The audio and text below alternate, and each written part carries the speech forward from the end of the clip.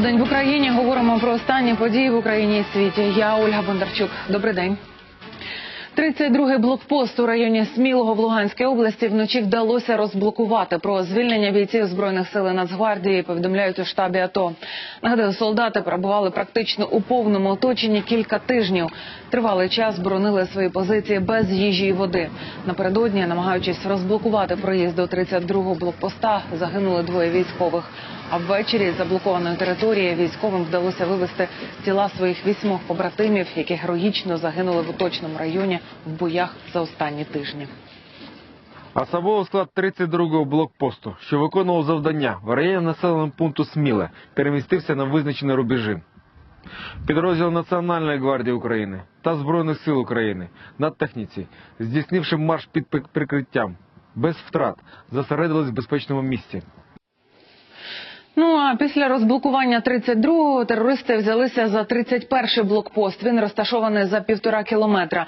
Як нам щойно повідомили в штабі АТО, у цьому районі тривають активні бойові дії. Під вогнем ще кілька блокпостів. Зранку бойовики активно обстрілювали позиції військ у районі Чорнухиного на Луганщині. Втрат серед наших бійців немає. Більше про війну на сході в наступному матеріалі. Напружена ситуація зберігається і в районі Дебальцевого, що в Донецькій області. Тут терористи щодня практично безперервно порушують режим тиші. А на трасі Артемівськ-Дебальцеве з'явився блокпост прикордонників. Дізнатися, як у них справи, не вийшло. Камери вони уникають. А от хлопці на передовій новинами діляться без проблем. Самые чаще ведут э, обстрел со стрелкового оружия бывает, вот э, танки иногда подъезжают, Т-80 бывало даже, вот замечали. С крупнокалиберных минометов стреляют 120 миллиметровых. И уже ближе к, пол, э, к, э, к ночи, уже к двум, часу, двум, трем ночи, иногда, иногда четко кроют градами. Это система БМ-21, установки град. Тим часом ряди бойовиків рідшають, тому терористи фактично примушують місцевих хлопців і чоловіків записуватися до лав так званого ополчення. Кампанію проводять на блокпостах. Перегрупування своїх сил терористи здійснюють і в районі Донецького аеропорту. Анонсований ними наступ напередодні так і не відбувся. При цьому жителі Донецька повідомляють, що бойовики займають квартири багатоповерхівок, розташованих ближче до литовища, і облаштовують там вогневі позиції. І сам аеропорт і позиції підконтрольні силам АТО терористи кілька разів обстрілювали, але на штурм не йшли. Перегрупування відбувається в рамках е, тих процесів, які визначені ватажками цих бандитських формувань. Але я ще раз ще раз підкреслюю, е, ми ці процеси моніторимо, відслідкуємо та готові діяти відповідно до тих загроз, які можуть виникати в рамках е, протидії діям підконтрольних збройних формувань. У самому Донецьку знову розривалися снаряди. Вибухи чули жителі Куйбишівського, Петровського і Ленінського районів. Ольга Сас, Ірина Баглай, Андрій Лач, телеканал Інтер. Полону терористів звільнено ще 21 людину. Про це на своїй сторінці у Твіттері написав президент Петро Порошенко. Серед звільнених правозахисник Олександр Кудінов, шестеро військових і 14 цивільних. Як повідомляли раніше, загалом уже звільнили 822 заручника. Під Маріуполем знову стріляли. Вночі терористи атакували наші позиції у районі Талаківки і Павлополя. Українські військові всі напади відбили. Обороняють місто не лише солдати, й місцеві жителі. Більше про ситуацію довкола Маріуполя розкажуть наші кореспонденти. В Маріуполі місцеві чули залпи гармат. Терористи відкрили вогонь по наших позиціях на лінії Павлопіль-Гнутове. Українські військові всі атаки відбили і підбили танк, який бойовики одразу ж кинули на поле бою. Під обстріл напередодні потрапили жителі села Талаківка. Осколки града поцілили в їхні будинки. Там постраждала літня жінка. Зараз вона в лікарні. Сначала были выстрелы из града. Мы же забежали в подвал. И только, получается, забежали, оно вот упало. Вон воронка находится. И дверью он железную сломала. И бабушку, получается, ногу зацепила, она возле двери стояла. Снаряди зруйнували 10 житлових будинків, пошкоджений газопровід, зруйновані електроопори та обірвані дроти. Тож у людей немає ні світла, ні газу. Он взорвался где-то вверху. Он не долетел до, до земли. Если бы упал, то тут бы было. Газовую трубу вот разбило. Вот что осталось от нее. Крышу снесли. Ну хорошо, наделали хорошо. В штабі АТО кажуть, наші позиції терористи обстрілювали з мінометів і градів. В 7.15 ударили два залпа градов. Накрыли блокпост и 7-8 выстрелов попали в село. Они стреляют и убегают. Там не мальчики и не наркоманы работают, там работают профи. Після обстрілів жителі Сартани перекрили дорогу на Талаківку. Побоюються, що тут буде блокпост і наступними під вогонь потраплять їхні будинки. Вырыли они, значит, это будет военный какой-то объект. Вот, одно. Второе, если заснимет, на- заснимет сверху беспилотник, они будут градами стрелять сюда, и наши дома все пострадают, и мы пострадаем. За словами військових, ці укріплення необхідні для забезпечення охорони мосту, який є стратегічним об'єктом. Ольга Сас, Ельвіна Сеїдбулаєва, Вадим Сверидонов, телеканал Інтер. Ми продовжимо спілкуватися з жителями міст, окупованих російськими терористами. Без грошей, світла і води під залпи градів вони намагаються вижити попри все. Ось що розповідають ці люди.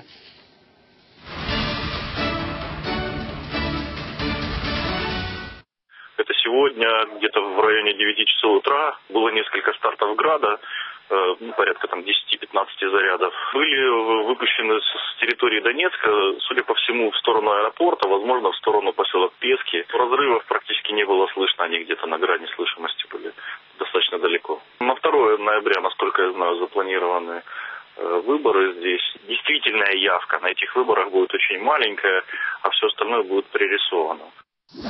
Вчера была перестрелка э, в Кировске и в Стаханове, в том районе.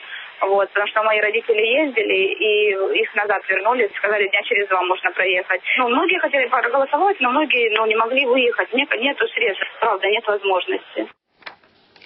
До Центрвиборчкому почали надходити протоколи з мокрими печатками. Перші привезли з Полтавщини. В електронному вигляді вже опрацювали 87% бюлетенів. Загалом картина не змінилася. В раду проходять шість політичних сил. Усі подробиці дізнаємось від Валентини Левицької. Вона щойно до нас приєдналася. Валю, привіт. Поділись з нами, будь ласка, останніми цифрами, ну і новинами, якщо маєш. Вітаю, Ольго. Дійсно почали приїжджати перші найоперативніші представники окружних виборчих комісій з регіонів. І найпершими вже за багаторічною традицією стали представники ОВК із Кременчуга Полтавської області. Вони завжди на всіх виборах якось так найоперативніше спрацьовують. Але не набагато їм поступилися і члени іншої окружної комісії з центром у місті Слов'янську Донецької області. Нам вони пояснили те, що так швидко порахували гол- голоси, тим, що в них працювали лише чотири виборчі дільниці. А от з Луганської області надійшла така тривожна інформація, що нібито там члени усіх п'яти окружних виборчих комісій звернулися до центральної виборчої комісії з проханням скасувати результати виборів і призначити, призначити нові. Вони пояснили це тим, що на людей, на членів е, окружних окружних комісій чиниться великий тиск, і вони просто не в змозі е, підраховувати голоси. Але як виявилося, в самій центральній виборчій комісії жодних звернень з цього приводу не було. І ось що нам розказав у бліц інтерв'ю представник ЦВК, який саме курує Луганську область. Пропоную послухати. Центральной избирательной комиссии ни письменных, ни факсовых, ни электронных сообщений о таком обращении нет. И я думаю, его, скорее всего, не будет. Насколько мне известно, ни одна избирательная комиссия, окружная избирательная комиссия не делегировала своих представителей для э, подписания такого заявления. Скорее всего, оно э, сделано из-за того, что это кому-то нужно. І як бачите, в ЦВК роз- розцінюють як політичні ігри. А що стосується до підрахунку голосів в електронному вигляді, то на цю хвилину пораховано вже близько 88% голосів. Ольго. Дякую, Валічка. Валентина Левицька була з нами на прямому зв'язку із ЦВК.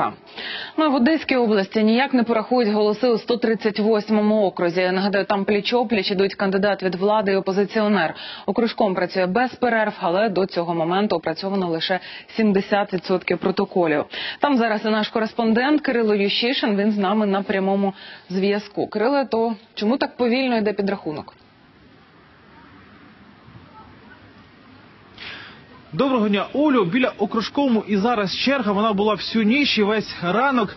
Члени дільничих виборчих комісій стоять просто небо от разом з бюлетенями на морозі. Люди ховалися від холоду і ховаються у місцевому будинку культури. Дехто там навіть ночував. Не спал с 4 часов 26 числа. Говорю, дайте хоть шарфик какой-то, потому что уже говорить не могу. Вот такие условия. Причина затримки Помилки у протоколах. Е, Зараз е, члени окружкому знаходять невеличкі арифметичні помилки, десь не дораховується одного-двох бюлетенів, але через ці невеличкі помилки доводиться е, окружним виборчим комісіям повертатися на місце, де проходили вибори, де проходили голосування, там виправляти документи, і потім повертатися назад в окружком і заново здавати свої протоколи. Через це йде затримка. До того ж, 138 округ це один це найбільший округ в Україні з найбільшим з найбільшою кількістю. Дільниць через це саме йде затримка. Загалом же за результатом 70% обролу- оброблених протоколів протоколів відомо, що перемагає кандидат Іван Фурсін. Він опозиціонер. А другим йде кандидат провладний, якого під час кампанії звинувачували у застосуванні адмінресурсу. Проте зараз опозиційний штаб говорить про те, що підрахунок голосів іде прозоро і ніяких особливих порушень немає. Якщо б у ДВК працювали професіонали, на, хоча професійні юристи нормальні, то е, було все рухалося на дуже більш швидко, ніж зараз. Але в цілому, в цілому, так, ми більш-менш задоволені.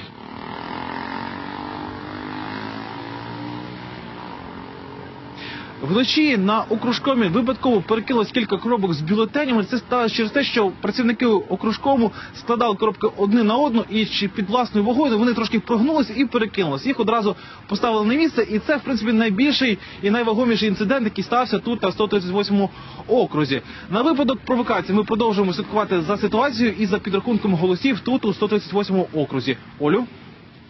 Кирил Ющишин про затримку з підрахунком голосів в одному з округів Одеської області. Народний фронт готовий стати базою для формування коаліції у Верховній Раді нового скликання. Про це заявив міністр юстиції України, кандидат у народні депутати від Народного фронту Павло Петренко. За його словами, жодна з політсил, які пройшли у раду, не має права затягувати створення коаліції. Втім, тексту коаліційної угоди поки що немає. Його обіцяють от-от представити. Хто і з ким і про що домовляється у куларах? Далі в сюжеті. Голоси ще не порахували, але про коаліцію вже домовляються. Готувати підґрунтя для цього почали ще раніше. Всі партії Майдана мають бути запрошені до створення такої коаліції. Всі вони можуть приєднатися до консультацій по створенню коаліції. У партійних штабах напередодні справжній день тиші. Про коаліцію не говорять ані в батьківщині, ані в свободі, ані в самопомочі. Що готові, заявили тільки у Ляшка. Чим ширша буде коаліція, 4-5, а краще 6 учасників, це нем- неможливить оці консультації, як це називається, а насправді це торги за те, щоб виторгувати собі ті чи інші посади. Хоча торги за крісла, за головні міністерські наразі в розпалі, запевняють політологи. Зараз поки можна сказати точно, що в уряді буде набагато більше людей від блоку Порошенка. Е, уряд, скоріше за все, оновиться лише частково, десь наполовину приблизно. Може отримати підвищення Гройсман. Е, Від простого віце-прем'єра стати першим віце-прем'єром. Втім, торгуватися будуть не тільки за кабміни губернаторів, але й за спікера комітету Верховної Ради. Якщо одна партія переможець отримує посаду прем'єра, інша партія переможець має отримати посаду спікера Верховної Ради. За логікою, спікер має бути від блоку Порошенка. Хто це буде? Сказати важко. Луценко може бути, Ковальчук чи хтось третій. Такий варіант теж можливий. Е, е, є варіанти, і такі були чутки щодо виборів, що Олександру Валентиновичу запропонують посаду секретаря Ради національної безпеки та оборони. Буде в новій раді і опозиція. Поки що її представить тільки опозиційний блок. Мы будем оппозицией к сегодняшней власти. И это наша принципиальная позиция, поскольку не видим, что люди, представляющие сегодняшнюю власть, имеют четкое понимание развития нашей страны. У нас очень много мажоритарщиков являются руководителями и могут аргументированно донести свою позицию в любой аудитории для любой, и выдержать любую дискуссию. Будь-які домовленості про об'єднання будуть прописувати у коаліційній угоді. Її текст обіцяють показати от-от. І торги зараз не тільки за крісла, а й за пункти тієї самої угоди. У кожної сили свої апетити, свої умови і свої політичні амбіції. Гармонізувати їх президент попросив за 10 днів. Олександра Казакова, Катерина Лисенко, Ігор Солій, телеканал Інтер. Петро Порошенко вшанував пам'ять загиблих у Другій світовій війні. Президент поклав квіти до могили невідомого солдата у Києві на честь 70-ї річниці звільнення Києва від фашистів. У церемонії взяли участь прем'єр-міністр Арсеній Ценюк, члени уряду, спікер парламенту Олександр Турчинов і мер Києва Віталій Кличко. Українцям заборгували майже 2 мільярди гривень зарплат. Про це повідомили у Держкомстаті. У лідерах боржників Донбас минулого місяця заборгованість там зросла вдвічі. Жителям Луганська і Донецька завинили понад 1 мільярд гривень. Боргують працедавці також жителям Києва, Сумської, Черкаської, Дніпропетровської і Запорізької областей. Загалом підрахували, що порівняно з минулим роком заборгованість із зарплат зросла на понад третину. Від невиплат потерпають працівники промислового сектору, будівельники, транспортники, кур'єри, науковці і робітники технічних спеціальностей. Єврокомісія готова швидше надати Україні 760 мільйонів євро допомоги. 500 мільйонів Київ отримає вже в листопаді. Про це повідомив представник України при ЄС Костянтин Єлісєєв. За його словами, фінансова підтримка буде, якщо Україна вчасно виконує узгоджені умови, зокрема, коли в Раді буде сформовано парламентську більшість і новий уряд. Встановити причину катастрофи малазійського Боїнга 777 на Донбасі поки що неможливо, адже доказів причетності до трагедії конкретної сторони немає. Про це заявив нідерландський прокурор, координатор слідства Фред Вестербеке. Нідерланди співпрацюють зі США, щоб отримати супутникові знімки. Вони мають допомогти у розслідуванні. Нагадаю, раніше журнал Шпігель написав, що дані німецької розвідки підтверджують, пасажирський лайнер над Донбасом збили проросійські терористи. Басманний суд Москви продовжив арешт Надії Савченко до 13 лютого. Засідання проходило у закритому режимі і без підсудної. Вона зараз проходить психіатричну експертизу в інституті сербського. Адвокати запевняють, що слідчий комітет Росії не має доказів причетності української льотчиці до загибелі російських журналістів під Луганськом. Тож слідство просто тягне час. Із зони АТО зі зброєю на столичному вокзалі правоохоронці затримали військового з автоматом, набоями, гранатою і штик-ножем. Боєць прибув до Києва на потязі Луганськ-Київ і, як пояснив міліції, прямував на Чернігівщину до місця дислокації своєї військової частини, де він, начебто, і мав здати військове спорядження. Подробиці інциденту з'ясовує військова прокуратура. У Старокостянтинові, що на Хмельниччині, двоє школярів намагалися пограбувати машини, які стояли на штрафмайданчику. Хлопці проникли на територію райвідділку, позривали з оштрафованих автівок початки і дістали звідти запальнички, зарядні пристрої і дрібні гроші. Щоправда, розділити чуже майно між собою підлітки не встигли. Їх затримала міліція. Тепер батькам неповнолітніх доведеться сплатити чималий штраф. В ході з'ясування обставин, чого вони потрапили на територію райвідділу, вони пояснили, що з цікавості, так як е, хотіли подивитися на транспортні засоби ближче, що в них знаходиться, і про те, що вони охороняються, вони не знали.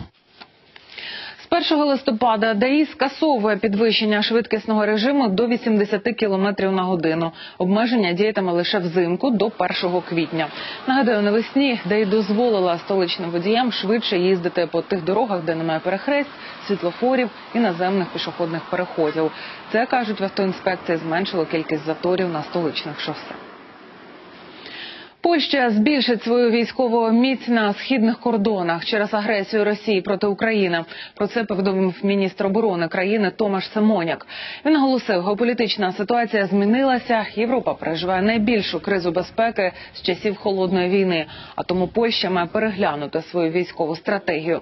Зараз найбільший військовий контингент країни 120 тисяч вояків базується вздовж західних кордонів. Тепер їх перекинуть на схід. Відправлять туди також і більшу кількість військової техніки.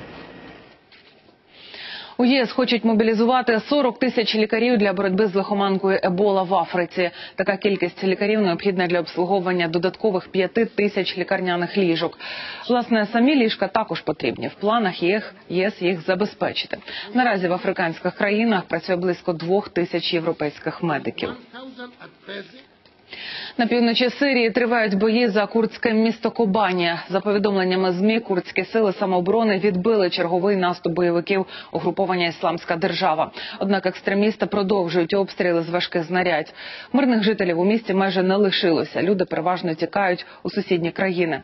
Серед них чимало дітей і майбутніх матерів. Про життя у вигнанні в наступному матеріалі. На швидкоруч збудовані хижі, всі вигоди на вулиці. Життя у таборі для біженців схоже на туристичний похід, от тільки вони місяцями стоять на місці. Народжувати у таких умовах – ризик. Сарійка Марам щойно дала життя здоровій дівчинці у таборі на півночі Лівану. Я покладалась на Бога. Її майбутнє таке ж, як наше. Вона буде біженкою, поки ситуація не зміниться на краще. Ліван став домом для мільйона переселенців, що рятуються від війни у Сирії, і половина з них діти, які виростають у так зване втрачене покоління. У цьому таборі на півночі країни благодійна організація Лікарі без кордонів організувала медичний центр. Тут приймають пологи і піклуються про мам і малюків. Усе безкоштовно, та й умови значно кращі ніж у самому таборі. Акушерка Марія за останній місяць вже прийняла майже 30 немовлят. Материнство це дуже важливо для сирійських жінок. Вони справді щасливі давати нове життя. Вони вірять, що невдовзі знову матимуть дім, і у їхніх дітей буде краще майбутнє. Але будувати родинне гніздечко далеко від близьких та рідного дому завдання не з легких. Я не хвилююся за себе, але мені сумно за мого сина. Він прийшов у світ, де в нього немає ані дому, ані дідусів із бабусями. Єдина розрада у сина може бути чимало друзів, адже дітей у таборах ще не більше ніж дорослих. Олена Руденко, новини, телеканал Інтер. Тисячі жителів острова Гаваї можуть евакуювати через виверження вулкана Кілауа. Лава почала витікати з нього ще в червні, і тепер впритул наблизилась до околиць містечка Пахоа, де проживає близько 800 людей. Вогняний потік рухається зі швидкістю 10-15 метрів на годину. На шляху лави райони з населенням близько 4 тисяч. Залишатися на місці небезпечно також через вулканічні гази і попіл у повітрі. Ми хочемо переконатися, що люди, які живуть на схилах, готові до надзвичайної ситуації, що вони або у безпеці, або ж збирають речі для переїзду. Ми не можемо точно передбачити, як рухатиметься лава, тож ризик є скрізь. Роботи стали головними героями виставки дизайнерських розробок у Токіо, адже просто креативом уже нікого не здивуєш. До чого тут андроїди і чому навіть дизайнери мають тямити в технологіях? В сюжеті далі. Ось ця мила дівчина здалеку зовсім не відрізняється від справжньої, і лише придивившись, можна помітити, вона робот. Саме андроїди стали родзинкою цьогорічної виставки дизайну в Токіо. Аби витримати конкуренцію, дизайнери тут мають бути не лише креативними, але й винахідливими. Спочатку я сприйняв її за людину, однак потім помітив, що це лялька. Ой, вибачте, андроїд. Вона рухається як людина, її шкіра дуже схожа на справжню. Вона дійсно виглядає як справжня. Загалом свої останні досягнення на виставці демонструють більше 1300 учасників. Тут можна побачити і хор співаючих роботів, віддалік схожих на легені, і манекени, що вміють грати на гітарах. Є тут і прилади, що навіть аплодуватимуть за вас. Серед більш традиційних дизайнерських розробок світлові інсталяції та ретро-карусель. У цьому заході бере участь велика кількість митців різних сфер від архітектури до розважального сектору. Тому ми називаємо експозицію радше геніальною аніж просто виставкою дизайну. Інноваційна виставка дизайну в Токіо триватиме до наступного понеділка. Організатори очікують, що за цей час її відвідає більше 120 тисяч гостей. Марія Биба, телеканал Інтер. У штаті Аризона успішно завершилася спецоперація з порятунку коня. Жеребець Стормі впав у відкритий басейн, а вилізти самотужки не зміг. На кадрах, які відзняв місцевий телеканал, видно, як близько десятка людей намагаються визволити тварину за допомогою троса. Щоб усе пройшло гладко, коня довелося заспокоїти сильним транквілізатором. Операція пройшла успішно, кінь лишився живий і здоровий. Чемпіона світу з пінг-понгу позбавили призових через надто бурхливе святкування. Здобувши перемогу у фіналі змагань, китаєць Джан Джейк на радощах розбив два рекламних щити. Організатори турніру назвали таку поведінку недостойною і позбавили спортсмена грошового призу у 45 тисяч доларів. Перепросити довелося і самому Джейку, і Китайській федерації настільного тенісу. На цьому все з побажаннями легкого і спокійного дня. Прощаюсь до 14-ї. Щасти.